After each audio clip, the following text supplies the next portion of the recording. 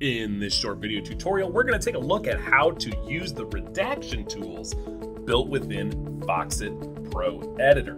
So the first thing we need to do is have a PDF that we want to open and edit with the Foxit Pro Editor. So let's go ahead and do that. Here I just downloaded a PDF that had some images and text in it so that I can show you that it works well on both and to show you a little bit about how all of this works. So let's take a quick look at one of the pages inside of this document. And the first thing that we want to do is switch over to our Protect tab inside of Foxit. And let's look at how we mark things for redaction. So the first thing that we do is click Mark for Redaction, and then we can just highlight what we want to redact. Once that's done, it's not actually redacted. We get a preview of what will be blocked out when we hover but otherwise it's just outlined in red. And you can see I left a little spot out here, so we're gonna actually mark that to make sure that we're redacting the whole document. And if we wanna make that look even a little neater, we can click on it, which you'll see this little teal box around it, and we can press delete. And let's try to get the whole thing this time. Let's see how we do. There we go. Now we have the whole thing. Perfect. Once we have it marked for redaction, we can right click on it and we're able to go in and actually mark it based on uh, Freedom of Information Act and Privacy Act if we'd like. Uh, we can also go in and at this point apply just this change. Now it's going to say this can't be undone, so make sure that you're ready when you do click this. So we'll go ahead and click it. And this document will be redacted. There we are.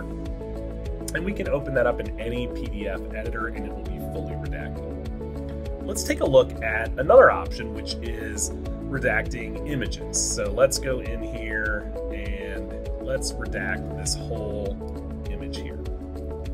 And again, same tools apply. And again, I'm going to say apply. We can also redact entire pages. So if we click on the mark for redaction, we get a drop down that allows us to search for specific terms and redact each of those terms, or we can do an individual page. So in this case, we're actually going to redact all of page 26 and click OK. Notice that page 26 in the page browser is now highlighted in red, and when we hover over it, we see that it redacts. Let's make another change. In this case, we're going to search the word Colbert. And we found 42 instances. We're going to check all of those instances where Colbert is mentioned, and we're going to mark all those checked results for redaction. And then we're going to apply those redactions. Perfect can see as we scroll through here, many places where Colbert was redacted. And you'll see that that actually applied the redaction to page 26, which is great. So we have now redacted this document. So let's go ahead and click Save. And this is going to ask you to save it under a new file name. And it's going to suggest redacted at the end of it. We'll accept that.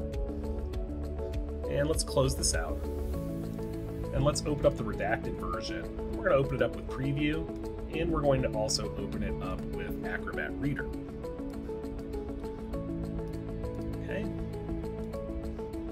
So as we come into our document, let's scroll and notice that we see Colbert has been removed. We have our image removed, text at the top of this page and the full page on page 26. Let's verify that that is the case here as well. Again, Stephen Colbert, the full page, top of this page, and this image. So there you go. You now know how to go in and open up a document and begin redacting information, whether that be text you can search for, text that you manually select, how to remove things that you accidentally mark, how to apply your changes, and how to even mark out full pages and images.